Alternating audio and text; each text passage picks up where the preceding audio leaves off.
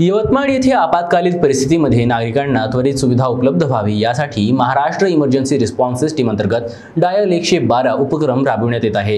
या अंतर्गत यवतमाळ जिल्ह्यात पोलीस गस्तीकरिता चौपन्न जीप व पंच्याण्णव दुचाकी नव्याने प्राप्त झाल्या असून पोलीस विभागाला त्याचे हस्तांतरण राज्याचे रोजगार हमी फलोत्पादन मंत्री आणि जिल्ह्याचे पालकमंत्री सांदीपान भुमरे यांच्या हस्ते करण्यात आलं. पोलीस मुख्यालयात झालेल्या या कार्यक्रमाला आमदार संजय राठोड जिल्हाधिकारी अमोल येडगे मुख्य कार्यकारी अधिकारी डॉक्टर श्रीकृष्ण पानसाळ जिल्हा पोलीस अधीक्षक डॉक्टर दिलीप पाटील भुजबळ आदी उपस्थित होते. यावेळी पालकमंत्री भुमरे यांनी नवीन जीपचे विधिवत पूजन व हिरवी झेंडी दाखवून सदर जीप पोलीस विभागाकडे हस्तांतरित केल्या.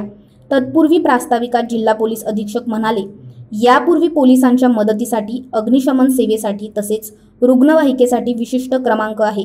त्याच धर्तीवर आता आपत्कालीन मदतीसाठी डायल एक एक दोन हा क्रमांक उपलब्ध झाला आहे. या क्रमांकावर कोणत्याही नागरिकाने मदतीसाठी कॉल केला तर कोणत्या जिल्ह्यातून फोन आला याची माहिती राज्याच्या नियंत्रण कक्षाला मिळेल. त्यानुसार सदर संदेश संबंधित जिल्ह्याच्या नियंत्रण कक्षाला कळवण्यात आल्यावर फोन करणाऱ्या नागरिकाला तात्काळ मदत उपलब्ध होईल. जिल्ह्याला नाविन्यपूर्ण योजनेअंतर्गत चौपन्न जिम व पंच्याण्णव दुचाकीसाठी सहा कोटी चौवेचाळीस लक्ष रुपये जिल्हा नियोजन समितीमधून मंजूर करण्यात आला आहे. सदर वाहने उपविभागीय पोलीस अधिकारी कार्यालय सर्व पोलीस ठाणे आदी ठिकाणी उपलब्ध करून दिली जाईल असेही त्यांनी सांगितले. कार्यक्रमाचे संचालन अशोक कोठारी यांनी केले.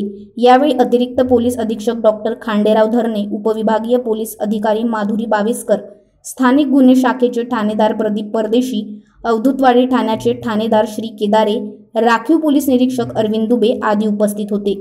व्ही चोवीस तासकरिता ज्ञानराज ढोरेची रिपोर्ट यवतमाळ.